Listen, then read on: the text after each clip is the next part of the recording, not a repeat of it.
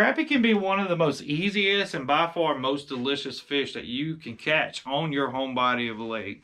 But being in the right location, using the right rod setup, and using the best lures on the market can really, really make or break whether you're going to load your boat full of big old slabs. So in today's video, I'm going to be focusing on if I was just now starting, the key areas that I would be fishing, the key techniques, the key line and rod setup, and the key colors and baits that I would use if I was just now beginning. So I just I want to take a little break from this video. I am making a lot of new little minnow kits. They are readily available for pre-order on the website. These are not going to last long, guys. You know, this kind of relevant for this video. This kit's to come with everything you need to get out there and catch a slab. It's to come with 70 of my best colors, including a new color I like to call Gummy Bear, which is a teal, teal, greenish, bluish, looking like a snack color. And these are on the website now, crappiemanjigs.com. Go grab you a box, support a small business, help feed my family. Uh, these are going to go out January 1st. They these these kits never last long. So head on to the website before you finish this video, grab you a box, uh, get out there and catch you some slabs. I hope everyone had an amazing holidays. This video should go out on Christmas, so Merry Christmas to everybody. So in today's video, we're gonna take a step back. You know, I made a video a couple years ago called Beginner Crappie Course. And I kind of want to relate to that video, whereas I'm going to, you know, teach you guys key areas to look out for in your home body of water to hopefully get you on more fish. Now the areas I'm going to talk about, you do not need sonar, you do not need a fancy boat or none of that. These areas on are, are almost on every single lake or river system or wherever you like to fish. The first big key factor to being able to catch more crappie 365 days of the year because you can catch these fish all year long is being in the right area. Now being in the right area, I do suggest using an, an app on your mobile device called Omnia Fishing. Now what this is going to do is going to entitle you to be able to pull up a lake map of your home body of water and be able to have the depths and everything so you can actually look for these areas that I'm going to cover. So in my opinion, when you're crappie fishing, there are three major structures. Now structure is important with crappie fishing because crappie like to hide or ambush prey because crappie in, in itself is a predator. You know, a crappie eats, you know, little bluegill, little crappie, uh, minnows, shad, crawfish, all that. But a crappie also gets ate by a largemouth bass, a striper, a catfish, etc. So a crappie's life is kind of like 70 30 you know, 70% of the time, it's looking to feed. 30% of the time, it's hiding, so it doesn't get ate. Now, that makes them a structure fish. Um, by structure, I mean something they're, they're able to feel safe. So like a dock with dock pylons, they could get behind or up under the dock to feel safe from predators. A bridge, you know, they could get on the bridge pillars, any kind of structure from the bridge or old bridges and brush piles, lay downs, any kind of wooden structure that's in the lake. So those are my top three crappy, pretty much habitats, I guess you would say. We're going to cover each one. So when you're looking at your lake maps, one of the most obvious piece of structures that you can find when you're just now beginning crappie fishing is bridges. I mean, there's bridges pretty much on every body of water. You know, there are a certain few that don't have bridges, and if that's you, I'm sorry. But bridges are key. You know, you pull up your lake map, you find a bridge. In my opinion, you want a bridge that has at least 10 feet of water. You know, it, unless your body of water only has, you know, certain amount of depth in it, I would go with 10 to 30 feet and find one of those bridges and go try it out. They're pretty much highways for these crappie. And what I mean by that, bridges normally, you know, go across certain key areas of a lake, like a bridge that goes across a river system, a bridge that goes across a creek. You know, the crappie push back into the creeks to spawn. They've got to go through this bridge some time of the year. And then once they get done spawning, they got to come back through that bridge. And that's why normally bridges are good because it's kind of like a choke point. You know, you're going to have bait fish that's got to push through there. And these crappie got to push through there to complete their life cycle. And normally a lot of them hang around. So you're going to have, you know, fish that are post-spawn, pre-spawn, in the spawn, summertime, wintertime, they're going to be holding on that bridge. So if you can find a nice bridge, like I was saying, 10 to 30 feet of water is definitely worth checking out as a beginner.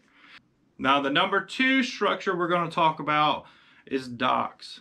Docks are my absolute favorite thing to fish. And just because, you know, you could do it so many different ways. You can have a really high skill ceiling where you're shooting way up under docks in order to reach the biggest and baddest crappie on your lake. Or, you know, you can have a really toned down beginner where you're just making small repeated casts down docks until you get a bite. Either way, it's absolutely fun to get out there and fish docks. Now, all docks aren't built the same. When you're looking for a dock on your home body of water, what I like to look for is a dock that's close to a river channel or a creek channel. If you get up on your map, like, like the Omnia Fishing app, Navionics, and you follow your creek channels, your river channels, they're going to make a bend. And I'm probably showing you an image of this right now. But when you find a dock that's on one of these bends, I can guarantee you there will be fish on that dock probably 80% of the year. Because that bend, just like the bridges that we covered earlier, are highways for success. They're going to go down these creek channels. They're going to go down these river channels. And they're going to post up on this dock because it protects them from predators. It protects them from the sun. It heats up more in the winter. You know, it cools off more in the summer.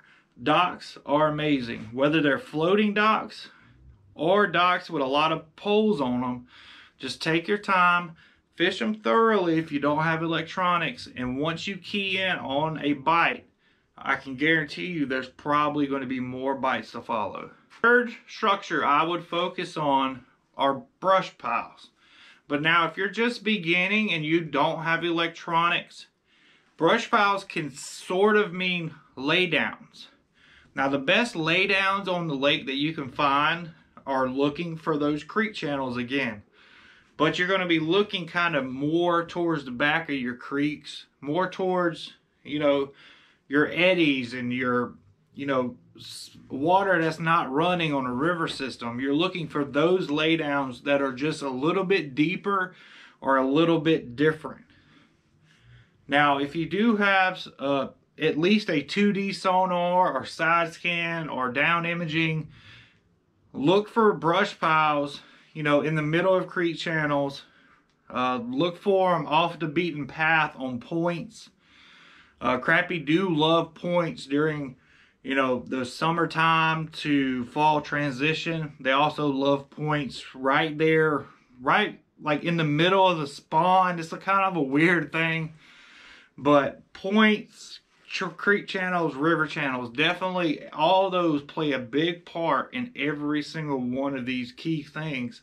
And the cool part is, guys, normally you can find all of these structures, all of this key stuff in the same area. Now, I'm not saying that there's going to be a ton of crappie in every area on your lake, but like I was saying, crappie reproduce so much, it's kind of hard not to find crappie. If you follow the tips on this video. This far in the video, I really do appreciate you sticking around and watching. I'm hoping I'm learning you something. So next, we're going to talk about rod and reel setups. Now, if I'm not live scoping, which is a kind of an advanced technique, I'm using a shorter rod. I mean, if you watch any of my past videos, I have a shorter rod. I'm six foot four. This is a five four, no five six, a five six ACC Crappie Stix. And quite honestly, guys, you can go to your Walmart, whatever. They have 10 to $20 ultralight combos, and those work just fine when you're starting out. Now, as far as ACC Crappie Stix goes, their 5.6 is honestly the only rod they make that you feel anything. Um, I'm just going to throw that out there. Hey, no, I, I ain't got nothing against ACC, but it's the only one that you can feel while you're winding but they do make a really, really light rod if you like using a longer rod. But the way I like to pick my rods is I judge it on the tip. If that tip don't look like somebody with a bull whip, I don't want it. But you want to pick up a rod and try to feel it and to make sure it's got, you know, good balance for you. It's not too heavy. If you're going to be fishing 8 to 10 hours a day, you don't want to wear yourself out. Now, you know, a 10 foot jig rod is amazing if you would like to go that route. An 8 foot rod is fine. Even a 7 foot rod is fine. Rod does not catch the fish. You know, certain techniques like slow rolling a jig, the rod matters. That's why I suggest a 5.6 ACC crappie stick because you can really, really feel good with it. Now the next big, big key thing with crappie fishing is your line. I run four pound of vicious line. When I'm casting, when I'm dock shooting, uh, when I'm just pitching a jig out there in the open water with Livescope, I'm running four pound test vicious high vis line. Now, if I'm using a 10 to 14 foot pole, I'm using either straight 10 pound braid or I'm using six to eight pound test line depending on what type of structure I'm fishing. But normally I run straight braid because I'll be live scoping and line size don't matter if you're staying above the fish. Now, one of the biggest key things with crappie fishing is your presentation. We're not talking about the jigs and stuff yet, but presentation is one of the biggest things and I'm to give you guys a cheat code. I made a video. You can, after you watch this video, write this down or whatever. Go look up my loop knot video. You know, it's a very, very quick knot to tie. You can tie it in around 15 to 20 seconds, if that. And what this does is if you're using a clench knot or a Palomar knot, sometimes your knot gets on the front of the jig head and your jig head is going to be sitting in the water like this. So a little cheat code is the loop knot. With the loop knot, it gives your jig free access. And if you're using the jigs that I make at, here at Crappie Man Jigs, our jigs float. So you have a weight on the front, your plastic's gonna float, and with that loop knot, it makes everything horizontal and everything looks natural. So a loop knot is definitely something I would suggest you learn. You can use a clench knot, you can use a Palomar knot, that's completely fine. But every other cast, you're gonna have to fix your jig.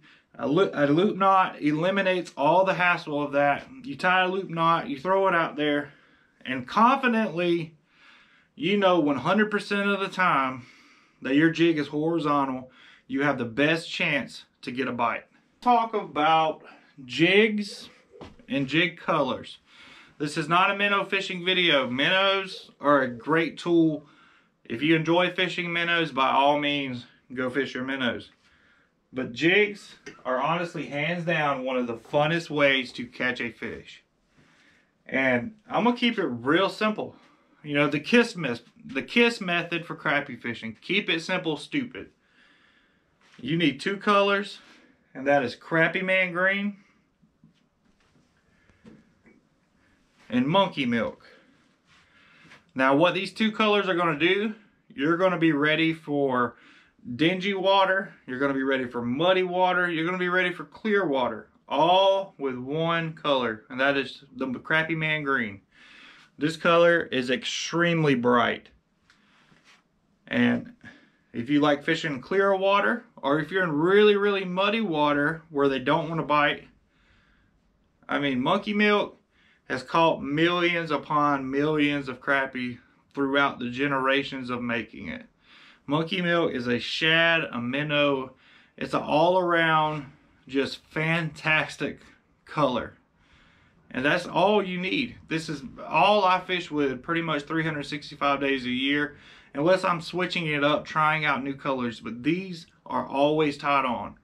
I'm always going to have a Crappie Man Green little minnow. Uh, a Monkey Milk swim bait, a Crappie Man Green swim bait. Or, you know, if I'm fishing with my longer pole, I'm to have just the bigger size and the same color. Uh, the, the cool part about all this is you can go to crappiemanjigs.com. You can pick up jig heads, jigs, everything you need to get started. Now, let's talk about jig heads before we close this video out. I've got a couple videos about what jig heads matter, whatever, but to break it down, give you the easy button to slap on down, 164 and a 132. A 164, I know that sounds extremely small and it is a small, small jig head. But when I tell you the slower that jig falls, you've got to have patience. Now, a, patient, a 164 is for a patient person. If you don't have patience, I, I, I don't know about going that route. But a 164 is going to let that jig just go down. You'll pitch it at the bridge. You'll pitch it at your brush pile. You'll pitch it at the dock. And that's all you do with a 164. You throw it down the dock and you wait for the bite. That jig and jig head is going to do all the work. They'll let you know if there's a fish there.